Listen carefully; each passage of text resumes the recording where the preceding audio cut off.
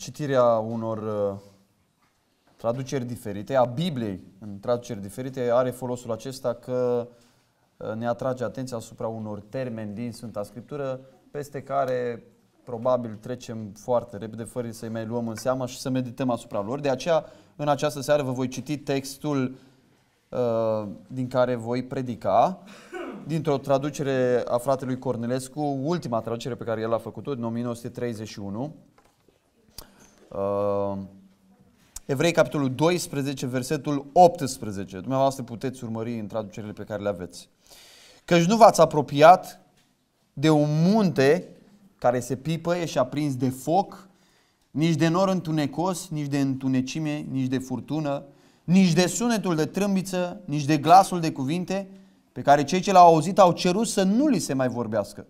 Căci nu puteau suferi ce li se poruncise. Chiar un dobitoc, dacă va atinge muntele, va fi omorât cu pietre. Și așa de înfricoșătoare era arătarea că Moise a zis, sunt înspăimântați și tremur. Ci v-ați apropiat de muntele Sion și de cetatea Dumnezeului celui viu, de Ierusalimul ceresc și de zecim de mii de îngeri, de adunarea în sărbătoare și de biserica celor întâi născuți, scriși în ceruri, și de Dumnezeu judecătorul tuturor și de duhurile drepților desăvârșiți. Și de Isus, mijlocitorul unui nou legământ. Și de sângele ispășirii, care vorbește mai bine decât Abel. Luați seama să nu vă lepădați de cel ce vorbește, căci dacă ei n-au scăpat când au lepădat pe cel ce rostea pe pământ cuvinte dumnezeiești, cu mult mai mult nu vom scăpa noi care ne întoarcem de la cel ce este din cer, al cărui glas a zguduit atunci pământul, iar acum a făgăduit zicând, încă o dată voi clătina nu numai pământul, ci și cerul. Iar acest încă o dată învederează schimbarea celor ce sunt zguduite ca unor lucruri făcute, ca să rămână cele ce nu sunt zguduite. Pentru aceea, fiindcă primim o împărăție neclintită, să avem har prin care să slujim lui Dumnezeu cu bună plăcere, cu evlave și sfială. Căci Dumnezeul nostru este un foc mistuitor. Amin. Amin. Cred că este ușor de observat uh, că textul acesta vorbește despre o trecere, de fapt toată cartea evrei vorbește despre o trecere de la vechiul legământ la noul legământ, da? Iar în pasajul acesta ni se prezintă această trecere prin doi munți. Trecerea de la muntele Sinai, locul în care s-a dat legea, în care s-a întemeiat vechiul legământ, la muntele Sion, care este simbolul Harului, care este simbolul împărățirii lui Dumnezeu, care este simbolul manifestării binecuvântate lui Dumnezeu. Pe scurt, tema, subiectul acestui pasaj, ceea ce vom studia în această seară, este faptul că noi putem să ne relaționăm la Dumnezeu doar în două moduri. Există doar două sfere spirituale prin care noi ne putem re- relaționa la Dumnezeu. Ori Sinai, ori Sion. Ori legea, ori Evanghelia. Ori prin fapte, ori prin credință. Ori îl avem pe Moise, ori îl avem pe Hristos. Ori avem le- vechiul legământ, ori avem noul legământ. Ori primim prin lege cunoștința păcatului, ori experimentăm sfințenia reală în noul legământ. Ori suntem prin fire, ca evrei în vechiul legământ, ori suntem prin Duhul. Ori avem moartea, condamnarea în vechiul legământ, ori avem viața. Ori suntem sub judecată, ori suntem în mântuire. Ori avem umbrele vechiului legământ, ori avem realitatea. Avem manifestările astea fizice de la Sinai sau avem manifestările spirituale din nou legământ. Avem un legământ pământesc, evident care avea și anumite aspecte spirituale, sau avem legământul acesta ceresc. Ori îl avem pe Dumnezeu ca judecător, ori îl avem pe Dumnezeu ca tată. Ori avem mânie, pentru că legea spune asta aduce mânie, ori avem milă, ori avem înfricoșare și înspăimântare pe care chiar Moise a avut-o, ori avem îndrăzneală, spune apostolul în evrei, ca să ne apropiem de scaunul îndurării. Deci sunt doar două variante, doar două opțiuni. Atenție! Când spun că avem doar două opțiuni și pare într-un fel că prima opțiune e negativă, noi nu spunem că ce s-a arătat la Sinai nu reprezintă pe Dumnezeu. Da, reprezintă pe Dumnezeu. Dreptatea, sfințenia, condamnarea, moartea, toate lucrurile alea reprezintă pe Dumnezeul sfânt adevărat, care în urgia, mânia lui dreaptă și sfântă se relaționează în felul ăsta față de păcătoși. Da? Deci și la Sinai a fost o manifestare a lui Dumnezeu. Însă ce spunem noi este că sunt doar două opțiuni și opțiunea la care ne cheamă Evanghelia este Sionul, da? La muntele Sion ne cheamă. Uh, avem repetat de două ori în pasajul acesta termenul apropiat. Și acesta este subiectul. Versetul 18 spune, nu v-ați apropiat de un munte, muntele Sinai, și pe ce enumeră cum a fost la muntele Sinai, spune în versetul 22, ci v-ați apropiat de muntele Sion, da? Deci sunt doi munți aici mari. Și de fapt, ceea ce ni se cere nou acum este să ne mutăm de la un munte la altul. De la o sferă la alta. De la un tip de relaționare la Dumnezeu la alt tip de relaționare la Dumnezeu. Fiecare dintre noi ne relaționăm la Dumnezeu. Întrebarea este cum? Fiecare dintre noi spiritual vorbind suntem la unul din munții ăștia doi, la Sinai sau la Sion. Întrebarea este la care suntem. Adevărul este că noi nu suntem în punctul în care să decidem pe una sau pe alta. Noi ne naștem la Sinai. Noi ne naștem sub condamnare. Noi ne naștem sub moarte. Noi ne naștem sub legea lui Dumnezeu. Noi ne naștem sub mânia lui Dumnezeu. Suntem din fire copii ai mâniei. Noi nu suntem într-o stare de neutralitate și perfect fiind Dumnezeu spune alegeți pe care vreți dintre voi. Nu, noi ne naștem deja. Sub condamnarea lui Dumnezeu, sub legea lui Dumnezeu, da? Suntem sub mânia lui Dumnezeu deja. Și Evanghelia nu ne cheamă să rămânem la Sinai sau să venim la Sion. Evanghelia ne cheamă să ieșim de la Sinai, că acolo e condamnare, e moarte, e urgie, e mânie și să venim la Sion. Și uh, avem în mintea noastră background-ul ăsta, fundalul ăsta, că li se scrie unor evrei care cunoșteau foarte bine vechiul legământ, care cunoșteau foarte bine cum s-a manifestat Dumnezeu la Sinai. Și ne uităm în primul rând cum s-a, cum s-a apropiat Dumnezeu de oameni la Sinai și cum i-a chemat Dumnezeu pe oameni să se apropie de el la Sinai. Păi spune, muntele care a fost acolo, un munte de care, uh, care se putea atinge și care era cuprins de foc. Deci se putea atinge, dar era cuprins de foc, da? Acum cine vrea să atingă acolo? Vedem că nimeni nu vrea să facă lucrul ăsta. Zice, nu ne-am apropiat nici de negură, întuneric, furtună, sunetul de trâmbiță, nici de glasul care vorbea în așa fel că cei ce l-au auzit au cerut să nu li se mai vorbească. Pentru că nu puteau suferi porunca aceasta. Chiar un dobitor, dacă se va atinge de munte, să fie ucis cu pietre sau străpuns cu săgeata.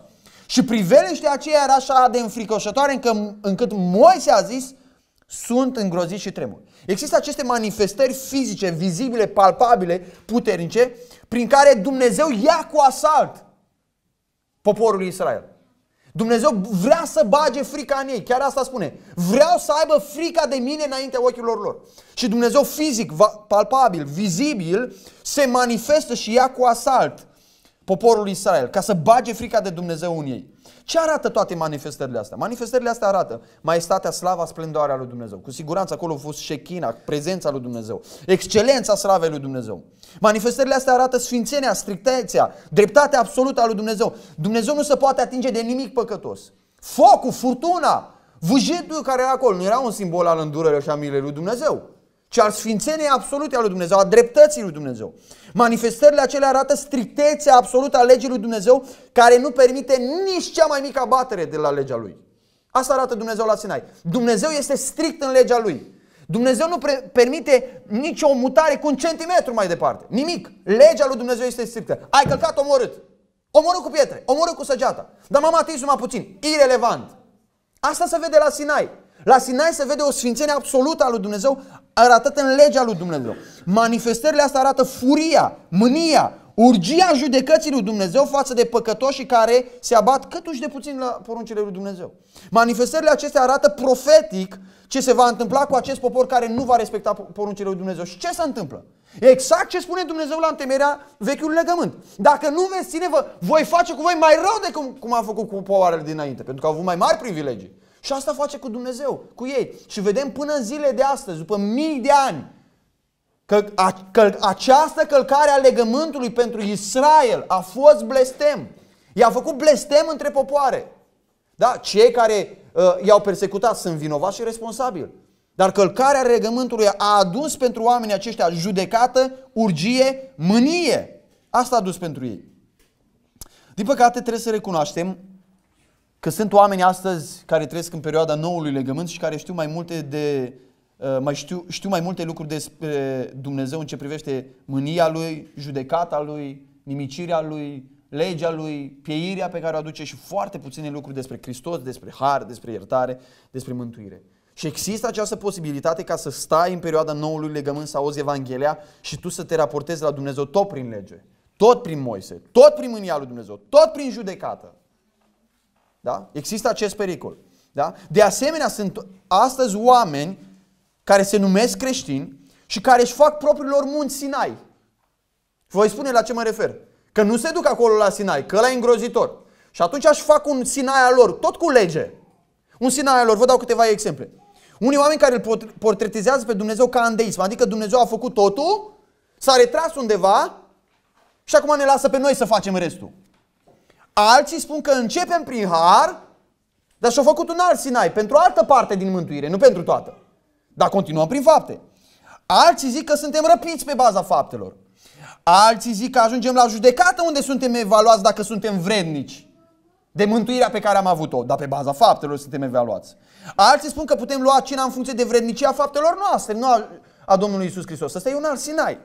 Alții spun că respectarea legii lui Moise, da, ține de felul în care Dumnezeu ne acceptă după ce am fost mântuiți, da?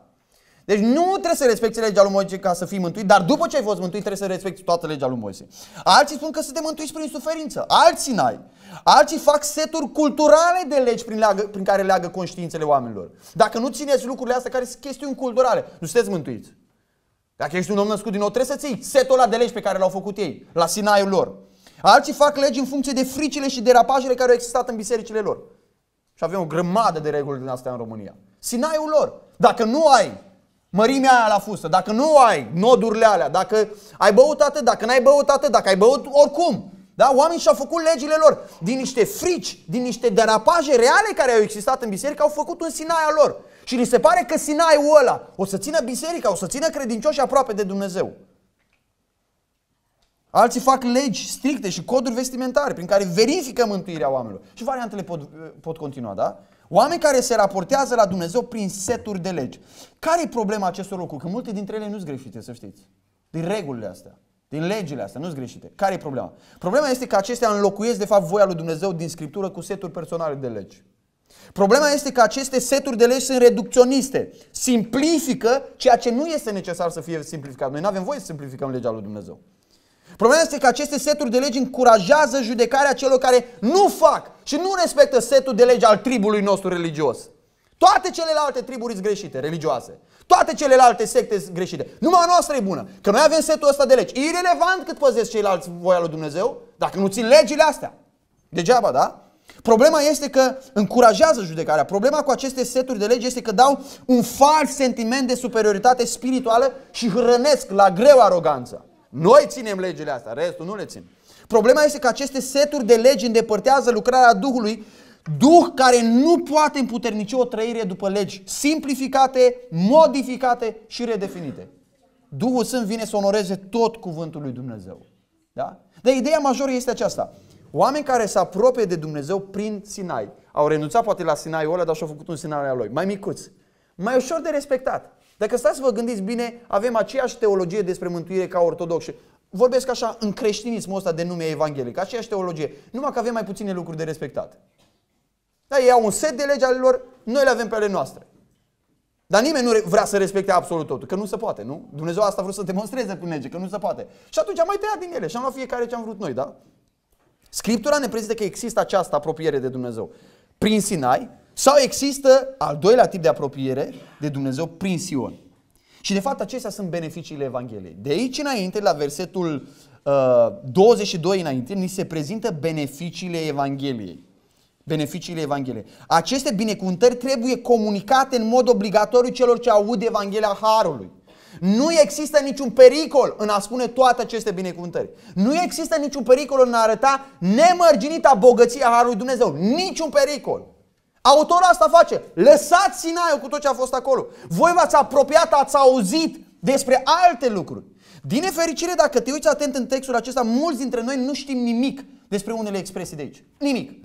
Mulți dintre noi s-ar putea să nu știm nimic despre anumite binecuvântări care sunt menționate aici. De ce?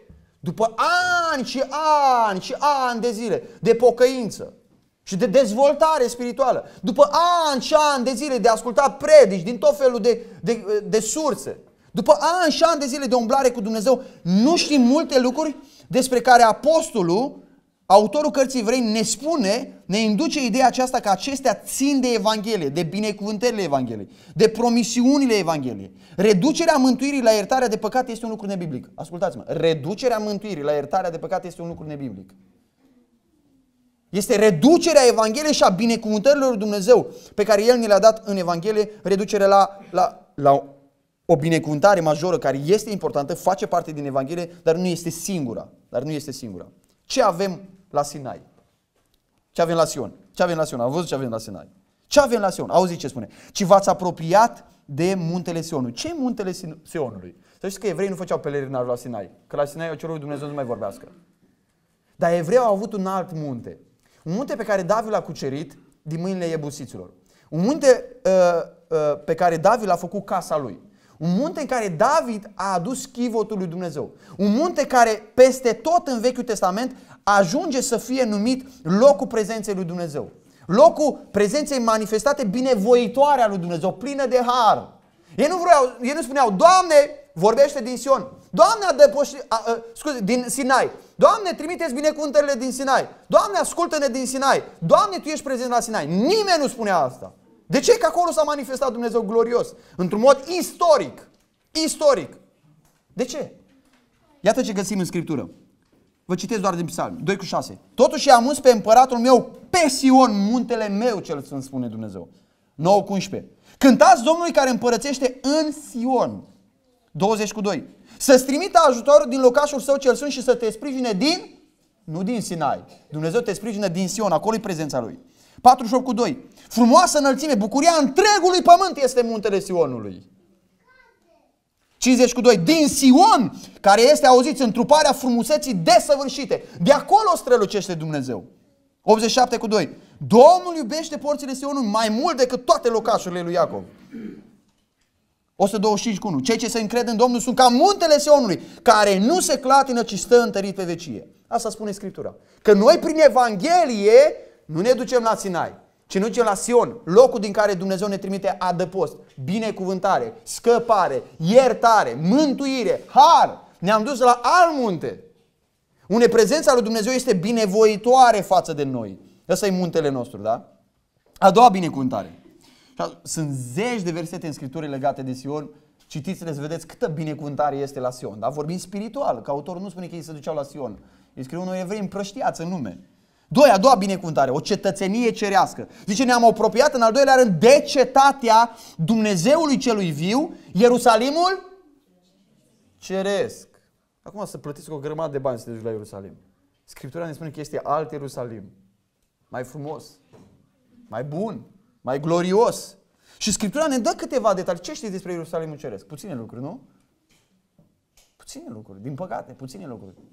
Dar uitați ce spune Scriptura despre Ierusalimul ceresc. Apocalipsa 21. Și am văzut coborându-se din cer, așa să termină Biblia. Trebuie să știi unde ești cetățean. Eu am văzut coborându-se din cer de la Dumnezeu cetatea sfântă, noul Ierusalim, da? Din cer, Ierusalimul ceresc. Gătită ca o mireasă împodobită pentru bărbatul ei. Ce e Ierusalimul ăsta? Și am auzit glas, un glas tare care ieșea din scaunul de domnie și zicea, iată, vorbește despre Ierusalim, cortul lui Dumnezeu cu oamenii. El va locui cu ei, ei vor fi poporul lui și Dumnezeu însuși va fi cu ei. El va fi Dumnezeul lor. Ce e Ierusalimul ceresc? Locul manifestării prezenței lui Dumnezeu, unde locuiește, unde stă Dumnezeu. Ce e Ierusalimul?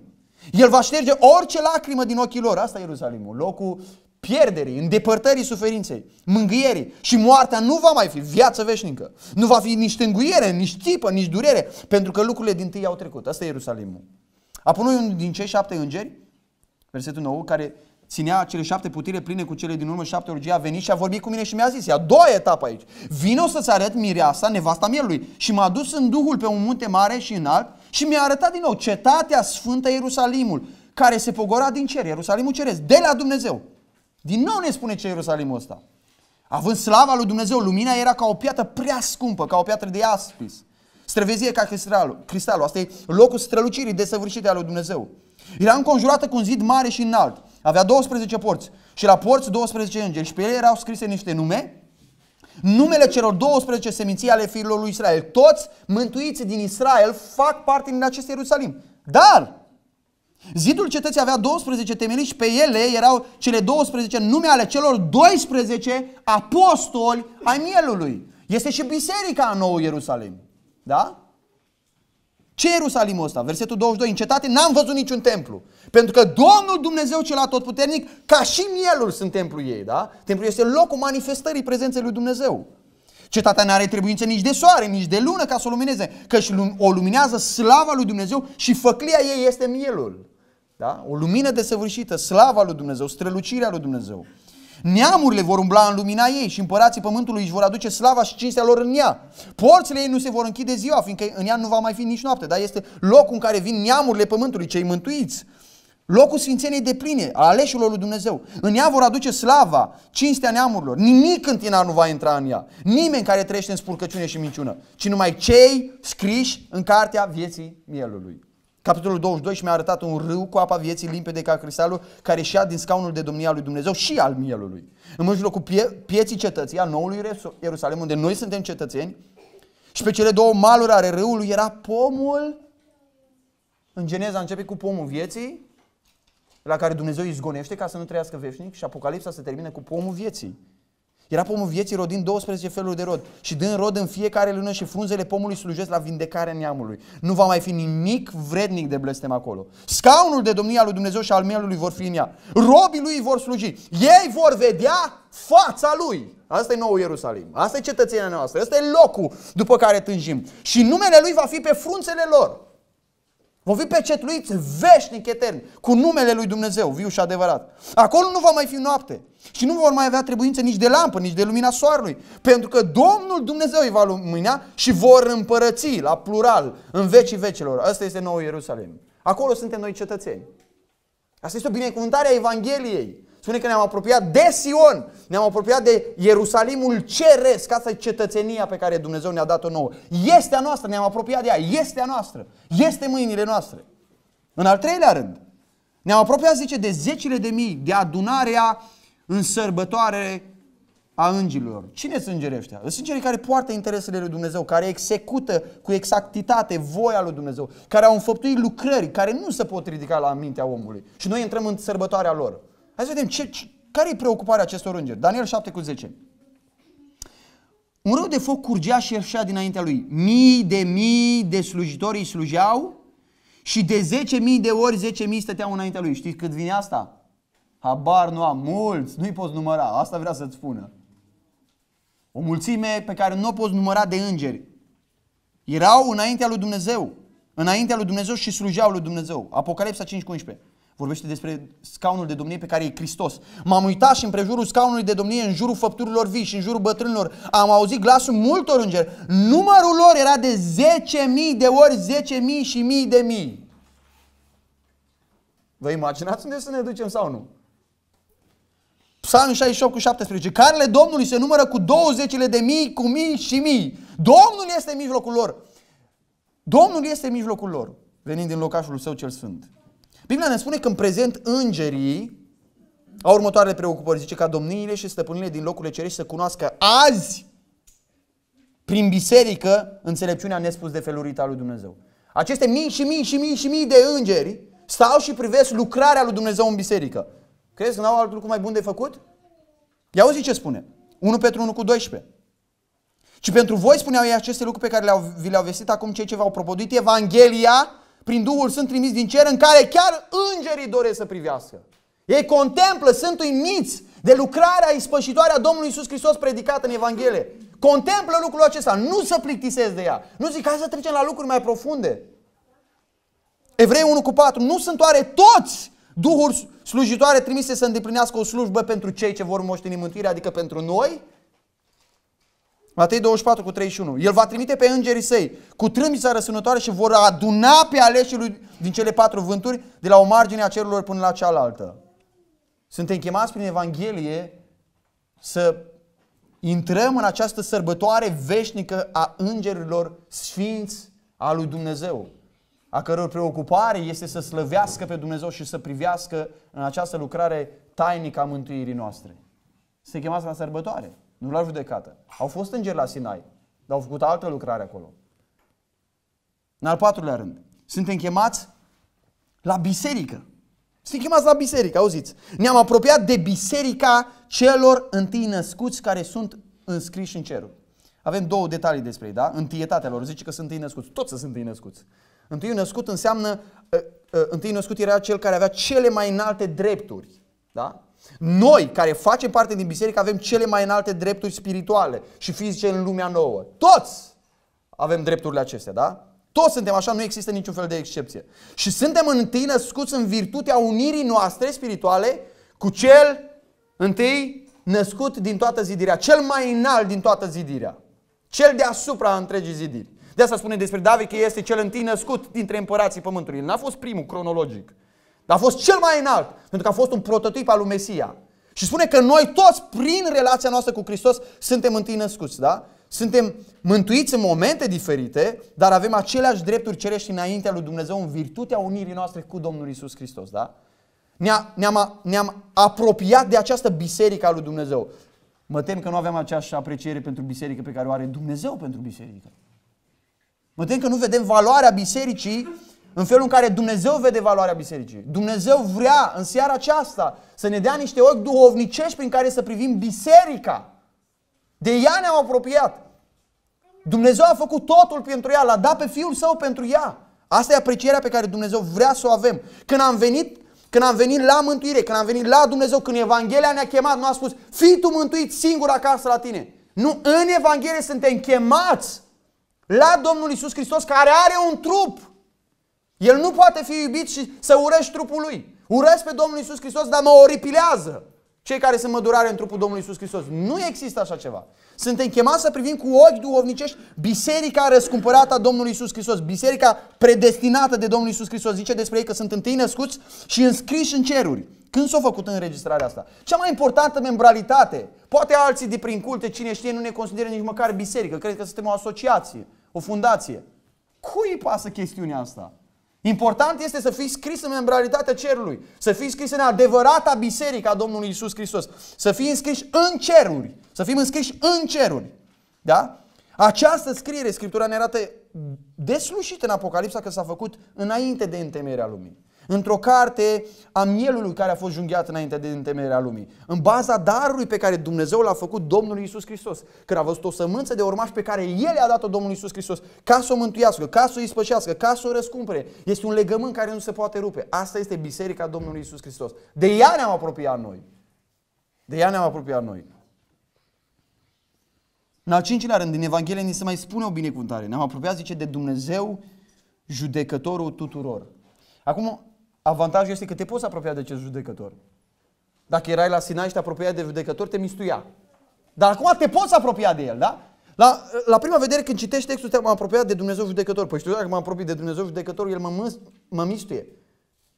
Nu e bine să te apropii acum de Dumnezeu judecătorul, pentru că Dumnezeu judecătorul, în dreptatea lui, făcând judecată în Domnul Isus Hristos, noi toți fiind în Domnul Isus Hristos, noi am fost judecați în Hristos odată pentru totdeauna și astăzi avem parte de harul lui. Dumnezeu este drept ca judecător care l-a judecat pe Isus și toate păcatele noastre în Domnul Isus Hristos este drept ca acum să ne dea har, să ne dea îndurare, să ne dea mântuire. El în dreptatea Lui ne iartă acum. Ne iartă în mila Lui, dar ne iartă și în dreptatea Lui. Și în dreptatea Lui. El este credincios și drept ca să ne ierte și să ne curățească. Este drept față de Domnul Isus Hristos, nu față de noi. Este drept ca Dumnezeu Tatăl față de Domnul Isus Hristos să ne mântuiască să ne ispășească, să ne ierte, să ne desăvârșească și să ne ducă în împărăția Lui. Este drept să facă lucrul acesta. De aceea ne putem apropia de Dumnezeu ca de un judecător al tuturor.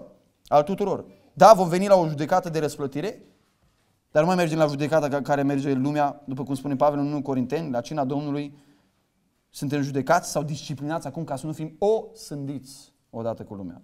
Așa să binecuvântare. Ne-am apropiat, zice, de duhurile celor neprihăniți făcuți de săvârșiți. Cei mai mulți comentatori spun că aici sunt toți Sfinții Vechiului Testament, care sunt uh, duhuri care uh, unii vorbesc despre faptul că la uh, momentul morții Domnului Iisus Hristos și a învierii sale, când au înviat Sfinții în Ierusalim, a fost un semn al transferării tuturor Sfinților Vechiului Testament din locuința morților în Împărăția lui Dumnezeu. Dacă crezi asta sau nu crezi asta, nu face absolut nicio diferență practică pentru noi. Este clar că Scriptura ne arată că ne-am apropiat de toți Sfinții lui Dumnezeu, de tot poporul lui Dumnezeu, de toți cei care au fost mântuiți vreodată. Ei care au fost neprihăniți și au fost făcuți desăvârșiți, nu s-au făcut desăvârșiți. Desăvârșiți au fost făcuți desăvârșiți de Dumnezeu. Da? Și în evrei ni se spune peste tot Că Hristos este singurul în stare să facă lucrul acesta.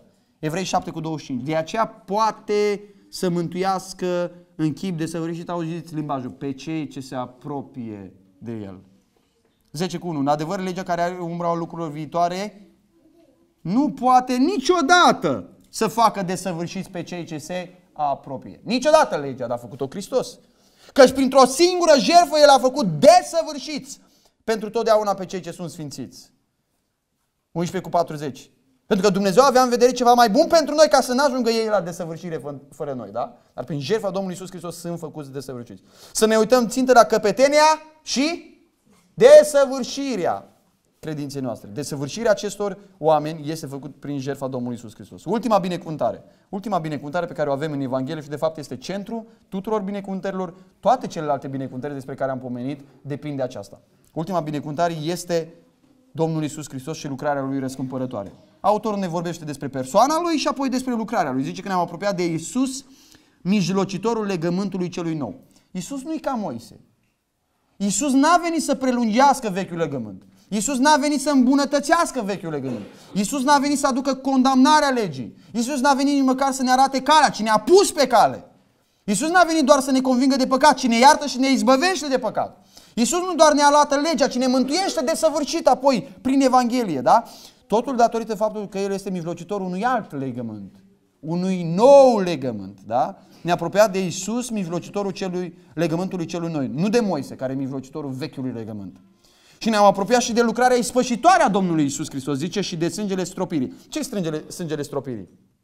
Sângele stropirii, când marele preot, în ziua ispășirii, se ducea cu sângele primului țap și în fața chivotului stropea de șapte ori semn al unei lucrări desăvârșite, încheiate, nimeni nu avea voie să fie acolo decât marele preot reprezentant al lui Dumnezeu, care aducea sângele ispășirii, care îl satisfăcea pe Dumnezeu. În dreptatea, sfințenia și gloria lui îl satisfăcea pe Dumnezeu. Și a fost ziua aceasta pe care noi o cunoaștem, în care adevăratul miel, adevăratul preot, adevărata jertfă Domnului Iisus Hristos cu sângele său s-a dus înaintea lui Dumnezeu, în Sfânta Sfintelor spune. S-a prezentat acolo și a satisfăcut total, definitiv, pentru totdeauna toate cerințele legii lui Dumnezeu.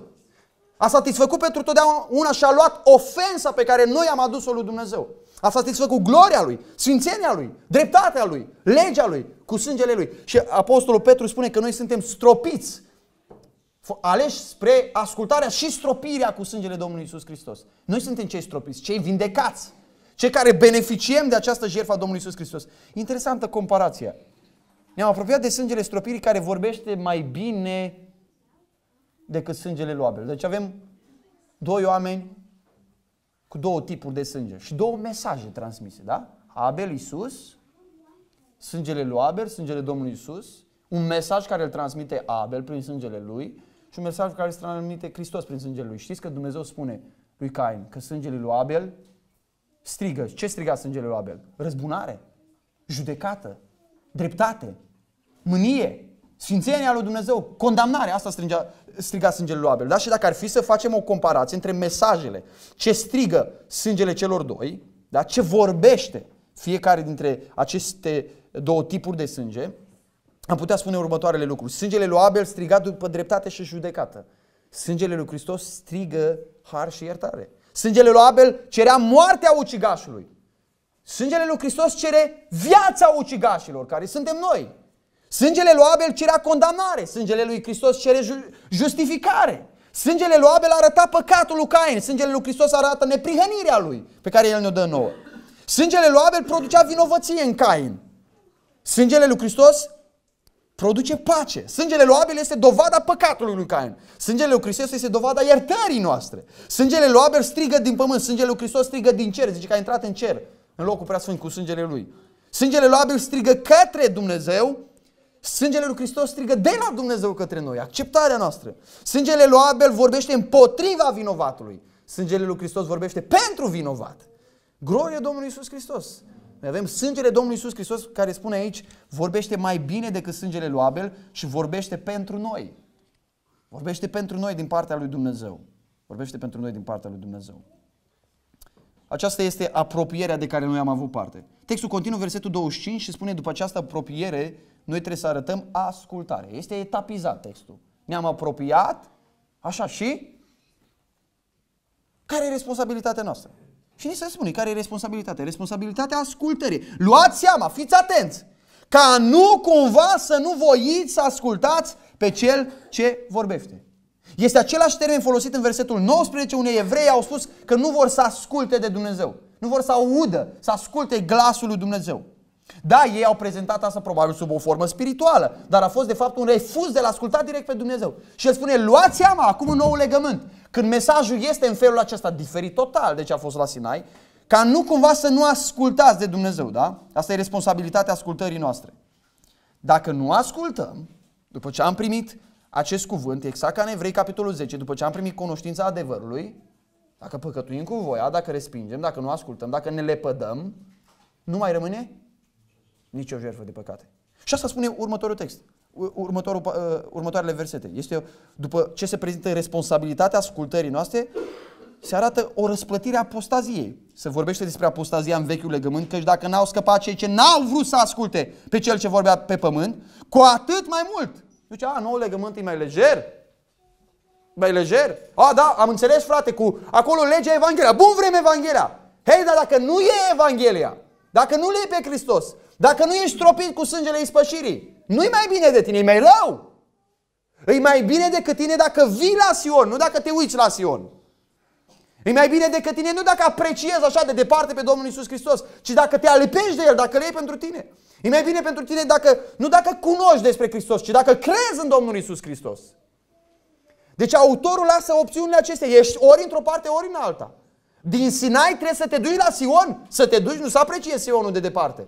Să ajungi acolo. Altfel, când ai intrat în contact cu Evanghelia și ești de acord cu ea și știi că așa este și renunți și te întorci, aia se cheamă apostazie. Aia se cheamă apostazie. Esența apostaziei aici este descrisă prin cuvântul ăsta întoarcere. Cu atât mai mult nu vom scăpa noi dacă ne întoarcem. Și interesant, cuvântul întoarce în Biblie are și conotație pozitivă. În fapte 3 cu 26 spune că Hristos a murit ca să ne întoarcă la Dumnezeu. Deci există două tipuri de întoarcere. Să te întorci la Dumnezeu și în textul acesta spune că te poți întoarce de la Dumnezeu, da? Ți-a fost prezentat mesajul, ți s-a spus ce binecuvântări extraordinare, da? Ce ofertă ți-i făcută. Toate lucrurile astea, toate binecuvântările astea sunt puse înaintea ta. Îți este demonstrat că vechiul legământ cu Moise, cu legea, toate au încetat. Nu te mai poți duce înapoi. Aveți sub condamnare. Ți se prezintă oferta Evangheliei și dacă te întorci de la Dumnezeu, de la ea, de la Hristos, de la toate aceste binecuvântări, zice că e cu neputință ca să scapi.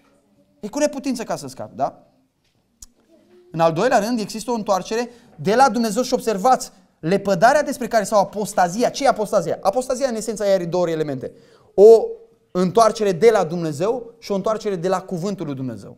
În contextul acesta de la Evanghelie. Zice, luați seama ca să nu vă întoarceți de la cel ce vă vorbește, da? Îl ai pe cel, pe Dumnezeu și ai mesajul lui. Luați seama să nu vă întoarceți de la Dumnezeu și de la cuvântul lui Dumnezeu. E interesant că textul vorbește de, spre cuvântul lui Dumnezeu aici la timpul prezent, de la cel ce vă vorbește.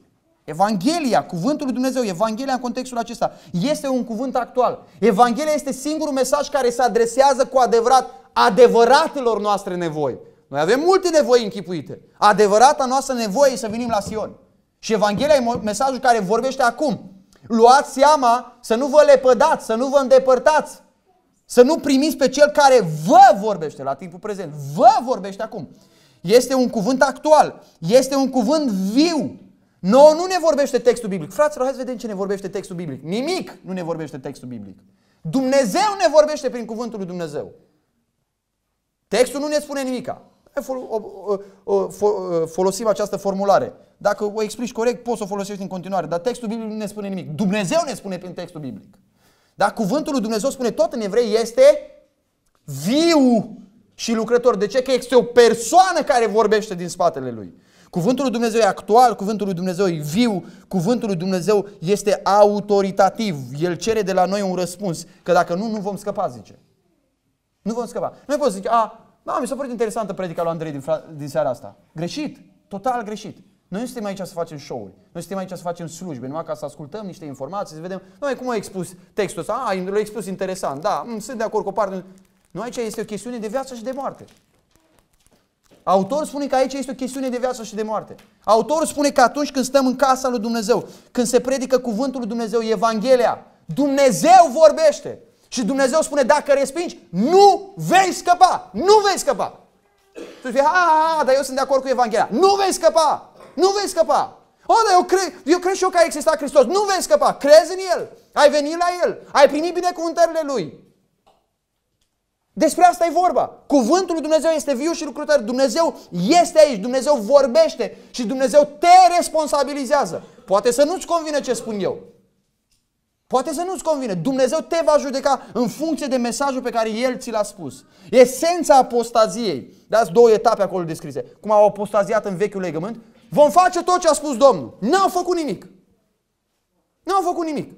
Esența apostaziei este să te îndepărtezi de la Dumnezeu și în contextul acesta de la Evanghelie și efectul apostaziei descris prin întrebarea asta. Cum vom scăpa noi? Și răspunsul este nu vom scăpa.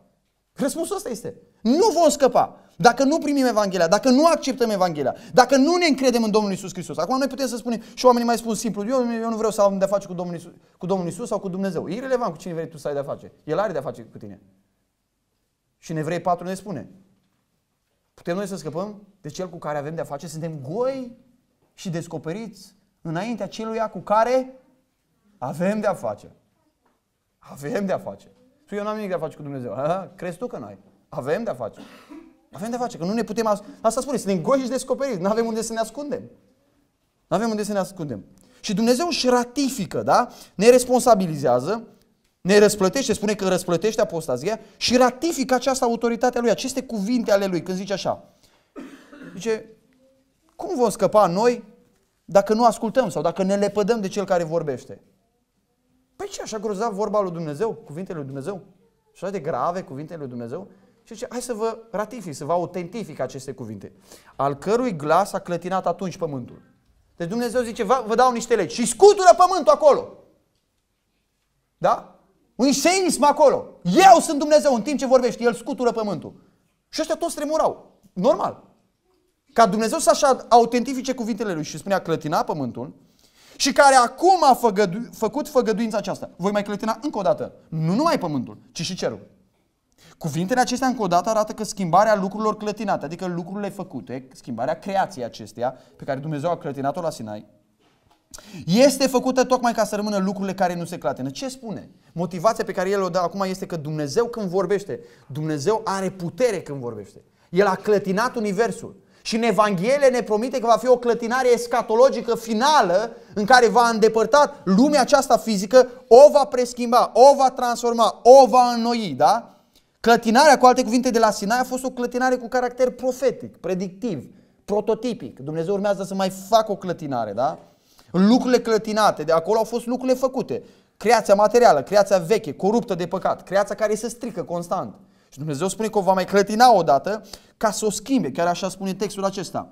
Este făcută tocmai, arată că schimbarea lucrurilor clătinate, adică, traduce, a lucrurilor făcute, este făcută tocmai ca să rămână lucrurile care nu se clatină. Cu alte cuvinte, motivația este aceasta. Dragii mei frați și surori și prieteni, va fi o zi în care Dumnezeu va pune capăt istoriei creației acestea. Va fi o zi în care Dumnezeu își va demonstra încă o dată autoritatea cuvântului Lui. Astăzi ne cheamă prin cuvânt. Va fi o zi în care va clătina universul acesta prin glasul Lui. Prin glasul care a creat universul, prin glasul va înnoi universul. Și același glas al lui Dumnezeu, care poate să facă praș și pulbere universul acum, este cuvântul lui Dumnezeu în Evanghelie, care spune apropiați-vă de Hristos, credeți în Hristos, alipiți-vă de Hristos. Da? Este același cuvânt. Este același cuvânt. Și uh, textul se încheie după ce sunt trei verbe mari pe care trebuie să le ții minte în capitolul 12. Deci ne-am apropiat. Cum vom scăpa noi dacă nu ascultăm sau dacă nu, uh, sau dacă nu credem, da? Și mai există al treilea verb, și spune, fiindcă dar am primit dar o împărăție, am primit dar o împărăție care nu se poate clătina, să ne arătăm mulțumitori și să aducem astfel lui Dumnezeu o închinare plăcută cu evlavie și cu frică, fiindcă Dumnezeu nostru este un foc mistuitor. Dacă te-ai apropiat, dacă ai ascultat, și acolo se vorbește despre ascultarea credinței, o ascultare mântuitoare, mesajul, da? în calitate de credincios, ce ți se cere de la Dumnezeu? Să fii un adorator, să fii un închinător sau să fii un slujitor. Și nu voi da foarte mult uh, timp aici, dar aș vrea să vă spun un, o, o chestiune. Există un, uh, când citești textul ăsta, că Dumnezeu nostru este un foc mistuitor. Duhul marcionist, Marcion a fost, e și astăzi uh, prezent. Duhul marcionist uh, uh, funcționează în felul următor. Marcion a respins Vechiul Testament, o parte din epistolele lui Pavel și câteva cărți din Sfânta Scriptură le-a rescris el. Le-a rescris el. Pentru că el nu putea împăca pe Dumnezeu Vechiului Testament, răzbunător, mânios, drept și sfânt, cu Dumnezeu foarte drăguț și accesibil din Noul Testament, chipurile. Acest marcionism a continuat de-a lungul istoriei și s-a manifestat, de exemplu, în secolul XIX prin liberalism, când oamenii aceștia pur și simplu nu puteau suporta pe Dumnezeu Vechiului Testament. Nu puteau suporta. Un Dumnezeu sângeros, un Dumnezeu răzbunător, un Dumnezeu care extirpă de pe fața pământului toată populația. Toată populația. Nu puteau suporta. Tot ei nu puteau suporta pe Domnul Isus Hristos supranatural din Sfânta Scriptură. Și au pornit un proiect numit deconstrucționism. Adică prin care să recreeze adevăratul Iisus istoric, cum a fost el în realitate. Și știți ce? Fiecare a venit cu o variantă diferită. Pentru că fiecare făcea un Iisus după chipul lui. Duhul lui Marcion. Zicea, da, este textul, dar uh, vă spunem noi ce trebuie crezut din textul acesta. Astăzi există și astăzi un, dui, un duh marcionist, un soi de marcionism care atacă puternic caracterul lui Dumnezeu. Așa încât dacă spui, cum mi s-a întâmplat recent, că Dumnezeu adevărat al Sfintelor Scripturii este un Dumnezeu care urăște păcatul și păcătosul, că așa spune Biblia, citez, predică o Evanghelie a urii. Asta e limbaj neomarxism. Asta e limbaj neomarxist, asta spune homofob. Predică un mesaj al urii. Avem creștini care uh, spun despre alți creștini care predică Dumnezeu care nu se schimbă în Sfânta Scriptură, că ăsta este un Dumnezeu a urii. O Evanghelie a urii. Un mesaj al urii. A spune că ceea ce Dumnezeu a vorbit prin unii oameni din Sfânta Scriptură este mai puțin important decât ce a vorbit prin Domnul Isus Hristos, ceea ce se spune foarte des în țara asta, și ce se spune tacit prin Biblia aceea care are cuvintele Domnului Isus Hristos în roșu, este marcionism. Ascultați-mă, Domnul Isus Hristos n-a fost mai inspirat decât Iuda, Iacov sau Apostolul Pavel sau decât Luca. Mă înțelege? N-a fost mai inspirat. Este același Duh al lui Dumnezeu care a mânat pe scriitorii Sfintelor Scripturii. Domnul Iisus Hristos n-a scris nicio carte din Biblie. Când tu crezi ce a spus Domnul Iisus Hristos, tu îl crezi pe Luca, care a scris din ce a spus Domnul Iisus Hristos și el a făcut o cercetare amănunțită, istorică a celor lucruri sub inspirația Duhului Sfânt. De unde știi că Luca nu te-a tras în piept? Deci tot pe Luca îl crezi în ultima instanță, că el a spus ce a spus Domnul Iisus Hristos.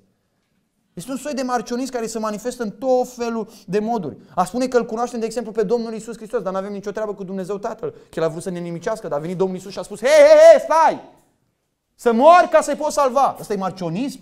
Dumnezeu Tatăl a făcut planul mântuirii. El l-a trimis pe Domnul Isus Hristos. El a primit jertfa lui. El este inițiatorul.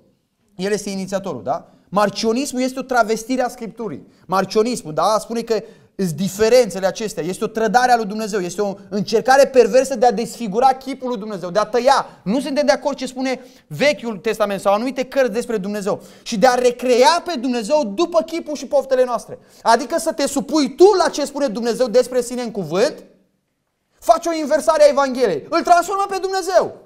Nu mă transform eu ca să accept autoritatea, tot mesajul lui Dumnezeu, tot caracterul lui Dumnezeu, ci îl schimbăm pe Dumnezeu. Facem noi Dumnezeu care ne place nouă, da? Așadar, a redefini voia lui Dumnezeu, caracterul lui Dumnezeu, pentru a se potrivi preferințelor, dorințelor, plăcerilor, tradițiilor, teologiilor, culturii, obiecțiilor seculariștilor care spun că e prea răzbunător, prea sângeros și așa mai departe. Deci a redefini toate lucrurile acestea este o formă de marcionism. Dar practic, ce am vrut să spun de fapt și la ce am vrut să ajung este următorul lucru. Carismatismul, și nu mă refer la cei care spun că se continuă darurile miraculoase, ci forma de carismatism în închinare, da? De duhul ăsta carismatic în închinare, nu de continuitatea darurilor vorbesc acum. Cred că a desfigurat chipul lui Dumnezeu, tocmai pentru a putea transforma închinarea bisericilor, în special care este uh, identificată cu muzica, nu cu altceva, cu muzica. Când spui astăzi închinare, la ce se gândește omul? La muzică se gândește. La muzică se gândește. Și ca să poți să ai tipul de închinare pe care îl vezi astăzi, trebuie să fie o desfigurare a lui Dumnezeu. Trebuie să fie o desfigurare a lui Dumnezeu. Pentru că în închinare oamenii nu se gândesc la Dumnezeu nostru care este un foc mistuitor. Este foarte interesant și important pasajul acesta că el după ce spune ne-am apropiat, am ascultat sau am crezut, devenim după aceea ce? Închinători. Misiunea noastră principală nu este să fim martori în lumea asta. Misiunea noastră principală nu este nici măcar să ne sfințim. Misiunea noastră principală nu este să fim uh, uh, misionari. Misiunea noastră principală este să fim închinători. Că dacă suntem închinători, vom face toate lucrurile acelea. Dacă te închini și înțelegi că Dumnezeu este un foc mistuitor, este sfânt, te vei sfinți și tu. Dacă vei înțelegi că Dumnezeu este dragoste, te vei duce să spui și la alții, da? Misiunea, prioritatea numărul unu a noastră este închinarea. Cum se manifestă închinarea? Zice prin mulțumire. O traducere spune să avem har, traducerea noastră spune să fim mulțumitori, pentru că rădăcina uh, ambelor termeni este aceeași în limba greacă. Să fim mulțumitori. Când ai har, este mulțumire, da? Închinarea nu poate coexista cu frustrarea, cu cârtirea, cu amărăciunea, cu nemulțumirea. Da? Pentru că ea presupune concentrarea, cunoașterea, contemplarea ființei lui Dumnezeu. De asta e importantă, e fundamentală închinarea. Ce se întâmplă la închinare? În, în închinare este un atac direct asupra antropocentrismului, centrarea în om. Este un atac direct asupra umanismului. Este un atac direct asupra a ceea ce e omul în firea lui. Și ni se iau ochii și ni se ridică spre Dumnezeu. Aia este închinarea. Când îl cunosc, când îl contemplu, da? când îl văd pe Dumnezeu prin Scriptură, asta este închinarea, asta e manifestarea închinării. Și devin mulțumitor. Vindecarea tuturor bolilor sufletelor noastre. Cei credincioși se face prin închinare. De aceea, a te jefui pe tine însuți de închinare nu este un jaf la gloria lui Dumnezeu în primul rând. Că Dumnezeu nu se lipsește de nimic în gloria lui. Ci te nenorocești pe tine însuți, te distrugi pe tine însuți, te îmbolnăvești spiritual. Nu există niciun om fericit, bucuros spiritual care se lipsește de închinarea bisericii. Niciun om. Indiferent ce arată pe buzele lui. Da? Indiferent ce arată pe buzele lui. Din nou, Scriptura ne arată aici că această închinare trebuie făcută lui Dumnezeu. Da? Să ne închinăm lui Dumnezeu. Plăcut lui Dumnezeu. Și foarte interesant că spune, și asta e de fapt lucru care tulbură în textul acesta. Fiindcă am primit o împărăție neclintită. Să slujim lui Dumnezeu cu, uh, să fim, să sluj, sau să ne închinăm lui Dumnezeu. Aici spune cu bună plăcere, cu evlavie și cu frică. Într-un fel e dublat, termenul evlavie asta înseamnă frică de Dumnezeu. Un om temător de Dumnezeu. Da? Un om care are sfială, frică de Dumnezeu. Acum este clar că există două tipuri de frică. Există frica unui sclav, frica unui criminal care se teme de judecător, frica unui dușman și există o frică a unui fiu și logica acestei frici stă în următorul lucru. Eu știu că copilul lui Dumnezeu, dar în același timp știu că El e cel mai puternic. Eu știu că copilul lui Dumnezeu, dar eu știu că mă vede oriunde. Eu știu că copilul lui Dumnezeu, dar eu știu că El este toată înțelepciunea, toată puterea. El este prezent oriunde. Nu, am cum, nu are cum ca vederea chipului lui Dumnezeu să nu stârnească mine o frică, o evlavie, o teamă de Dumnezeu care reglementează închinarea care redefinește închinarea, care corectează închinarea. Observați că aici se vorbește despre o comunitate a închinării, da? Se adresează tuturor acestor credincioși. Despre o unitate a închinării, despre o comunitate a închinării. Despre o motivație. Care e motivația? Și este încheierea aceasta. Motivația este că ești Dumnezeu nostru, căci asta spune. Să ne închinăm cu evlave și cu frică. De ce? Căci Dumnezeu nostru este un foc mistuitor. Dumnezeu nostru, că am vorbit de marcionism, Dumnezeu nostru n-a fost un foc mistuitor. Dumnezeu a, foc un, a fost un foc mistuitor la Sinai. Dumnezeu nostru a rămas un foc mistuitor. El schimbă modul de lucru cu noi datorită Domnului Isus Hristos, dar El rămâne sfânt. El rămâne un foc mistuitor. Întrebarea nu este doar dacă ne închinăm, că ne închinăm prin cântare, prin rugăciune, prin predicare. Întrebarea este și cum ne închinăm.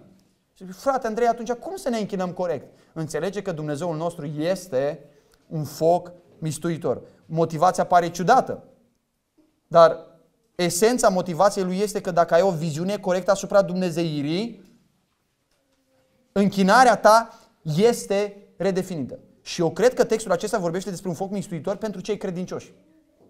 În Biblie se vorbește despre un foc care muncește, zice, zi și noapte în Apocalipsa. Un foc care îi muncește zi și noapte. Dar eu cred că Dumnezeu poate face credincioșilor, credincioșilor lui parte din focul mistuitor. Nu focul care muncește, dar focul care mistuie. Și Dumnezeu intră cu putere în viețile credincioșilor, care nu se închină cum trebuie, care nu trăiesc cum trebuie, care nu slujesc cum trebuie. Și Dumnezeu poate să îi mistuie. Dumnezeu poate să îi omoare. Cum să vă spun mai clar? Îi judecă acum în această viață. Ne mistuie viața. Suntem mistuiți, spunem psalmist, de mânia Lui. Nu de mânia Lui în calitate de judecător ca și cum noi am fi niște necredincioși, ci de copiii a Lui care trăim în neascultare, în păcat, ignorându-L, nepăsători față de Dumnezeu, având o închinare care nu este după voia Lui Dumnezeu. Da, autorul citează din Vechiul Testament și afirmă că acum Dumnezeu este un foc mistuitor. Toate bisericile au pe frontispiciu ce?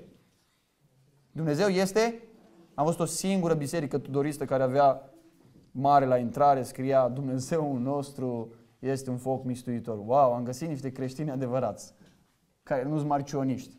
Evanghelicii moderni marcioniști, da, căror ignoranța Sfintei Scripturi poate fi egalată cu turnurile gemene, prăbușite, uh, au editat într-o asemenea măsură dumnezeirea, încât ce vedem astăzi în chinare este o distracție. Este o, o distracție. Dacă, ascultați-mă, dacă noi am crede că Dumnezeu nostru este un foc mistuitor din toată inima noastră, dacă am cunoaște, am contemplat constant ce presupune pentru noi că Dumnezeu nostru este un foc mistuitor, ar dispărea frivolitatea, familiaritatea, ușurătatea din închinare. Corect, da sau nu? Ar dispărea senzualitatea prezentă în unele mesaje, voci, garderobe și mișcări în închinare. Că uneori ai impresia că ești la discotecă în unele adunări. Dacă înțelegi că Dumnezeu... Eu m-aș bățâi înaintea lui Dumnezeu dacă eu cred că e foc mistuitor mi-a strage o fusta sus și bluza jos ca, dacă cred eu că Dumnezeu e în foc mistuitor și a strigat foc, coboară, foc, coboară, foc. Păi ce vrei să te mistuie Dumnezeu? Să faci un favor Dumnezeu că nu coboară. Ar dispărea cântările superficiale din închinare care neagă prin cât de sărăcăcioase sunt ele măreția, frumusețea și slava lui Dumnezeu. Prin cât de sărăcăcioase sunt. Sunt un afros și o jocuri la adresa lui Dumnezeu. Și cele mai multe cântări, repertoriul înnoit astăzi în cele mai multe biserici evanghelice, îți de la mișcările carismatice eretice din America. Ar dispărea așa zisele trupe, banduri compuse din oameni nepregătiți, necalificați muzical, moral, teologic și spiritual sau chiar necredincioși. Ar dispărea dacă ar înțelege că Dumnezeu nostru este un foc mistuitor. Ar dispărea metodele lumești prin care sunt bombardate emoțiile noastre care sunt puse apoi pe seama prezenței Duhului Sfânt. Dacă înțelegem că Dumnezeu nostru e foc mistuitor, noi ne aducem și aducem metode lumești ca să ne facă să ne simțim bine. Ar dispărea tipurile de cântări, tipurile de oameni, tipurile de închinare care împiedică adunarea să se închine lui Dumnezeu.